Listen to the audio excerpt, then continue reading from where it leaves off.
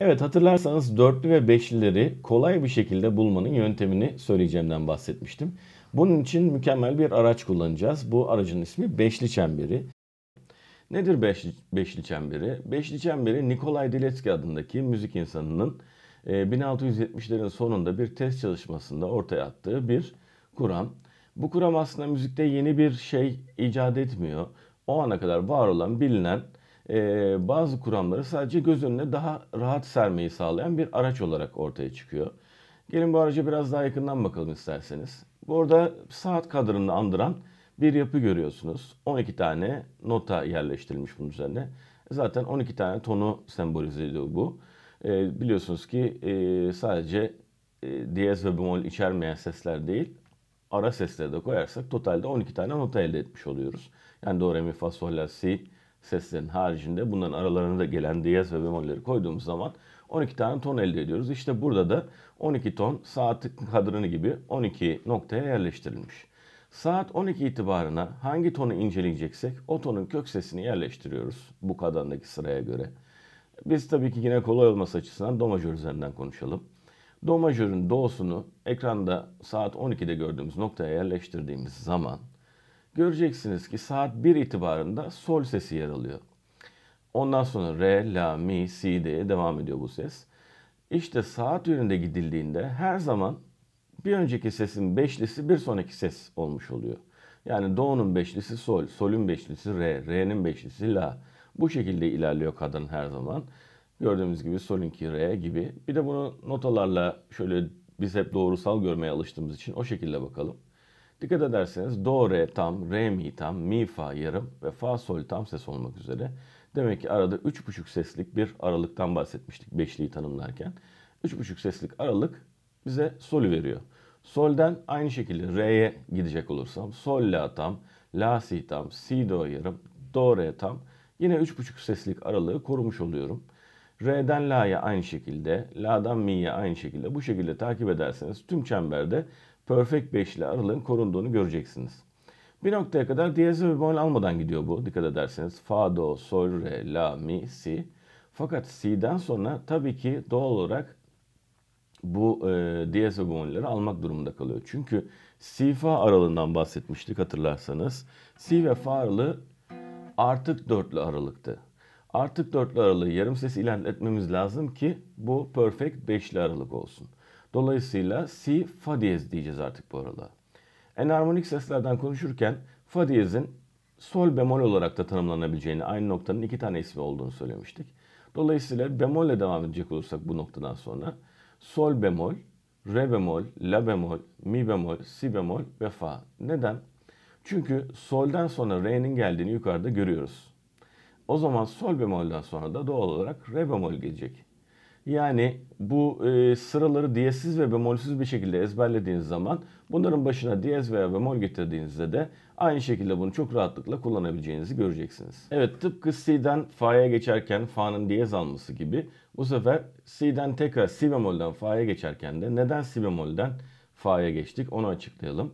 Si Fa aralığının dediğimiz gibi artık dörtlü aralık olduğundan bahsetmiştik. Bunun eksik beşli olabilmesi için bir öncekinde nota C'di. Bir sonraki notayı bulabilmek için Fa'ya diyez eklemiştik. Ama şimdi de nota Si bemol olunca bunu ne yapıyoruz? Fa yapıyoruz. Dolayısıyla Si bemol fa aralığı Si'nin geriye gitmesinden dolayı, Si bemol olmasından dolayı o dö- e, artık dörtlü olan aralık tekrar e, perfect beşliğe çıkmış oluyor. İşte e, burada göreceğiniz gibi saat yönünde beşleri verirken tam tersi yönde de saatin tersi yönünde de bize dörtlüleri veriyor aslında bu aralık. Böyle e, güzel bir şekilde bize birçok konuyu özetliyor. Yine doğuyu bu sefer saat 12'de görecek olursak bir sonraki ses saatin tersi yönünde fa. Baktığımız zaman kadınımıza do, re, mi, fa bunun bir perfect dörtlü aralık olduğunu görüyoruz. Çünkü iki buçuk ses. Veya aynı şekilde herhangi bir yerinden alabilirdik kadının. Re'den baktığımız zaman sol gibi. Yani bunu da Si'den başlatacak olursak Si, Mi, La, Re, Sol, Do, Fa, Si bemol, Mi bemol, La bemol, Re bemol, Sol bemol şeklinde gidebiliriz. Sol bemolden sonra Do bemol demem lazım. Ee, normal sırayı uygulayacak olursam. E, do bemol de Si'ye tekabül ettiği için tekrar başladığım yere dönmüş oluyorum.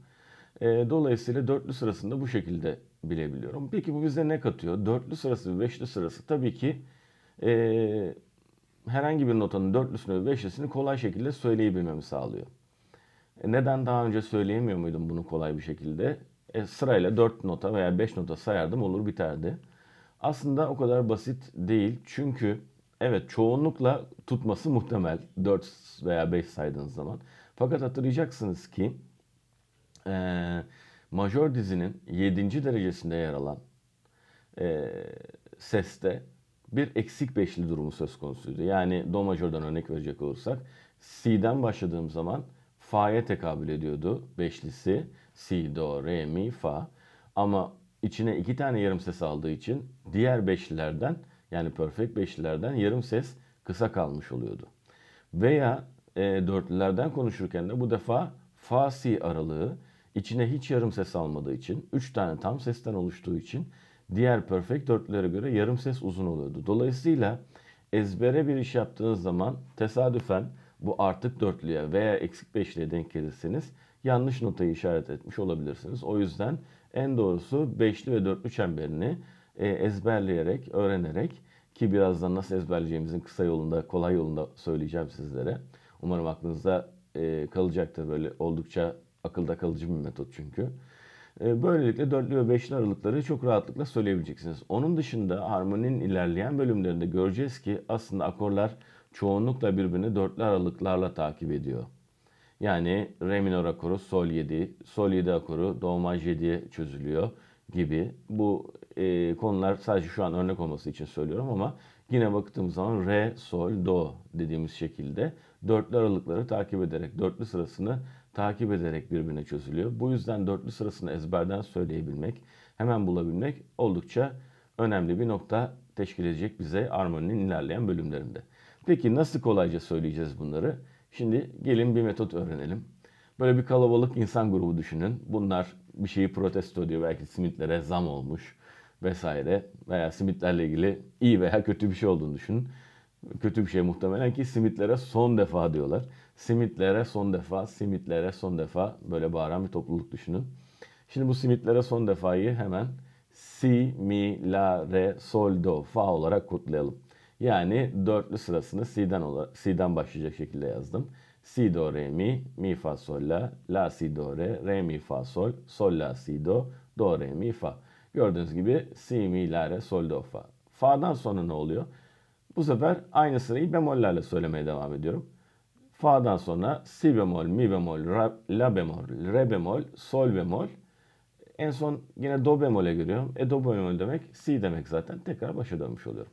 Yani si, mi, la, re, sol, do, fa, si bemol, mi bemol, la bemol, re bemol, sol bemol. Bizim zaten 12 tane tonumuzu elde etmiş oluyoruz bu şekilde.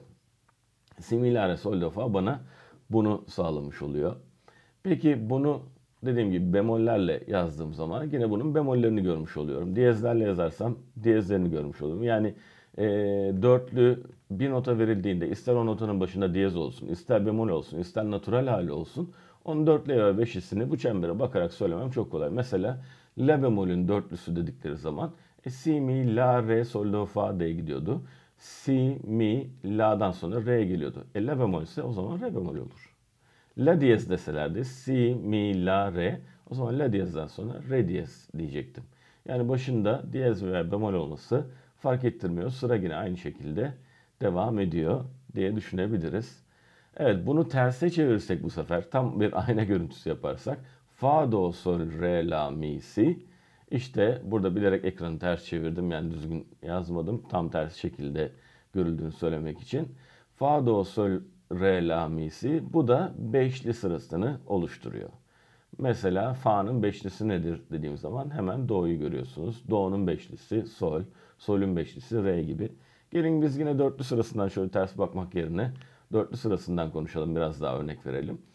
İşte bu sıraya baktığımız zaman şu anda e, soldan sağa doğru gittiğimizde dörtlü sırasını, sağdan sola doğru gittiğimizde beşli sırasını görüyoruz.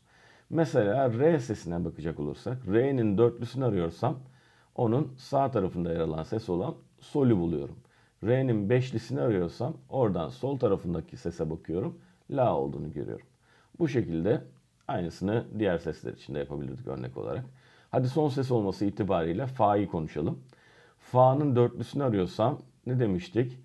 Fa'dan sonra başa dönüyorum si'ye ama bu defa bemollerle devam ediyorum demiştim. Si, mi, la, re, sol, do, fa, si bemol, mi bemol, la bemol, re bemol, sol bemol diye devam ediyorum demiştim. Dolayısıyla fa'nın dörtlüsü için tekrar başa döneceğim ama si'nin başına bu defa bemol koyacağım.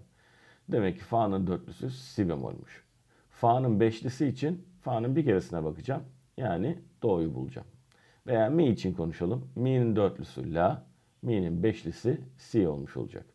Bu şekilde umarım kolaylıkla dörtlülere ve beşlere tespit edebilmişsinizdir. Unutmayın simitlere son defa.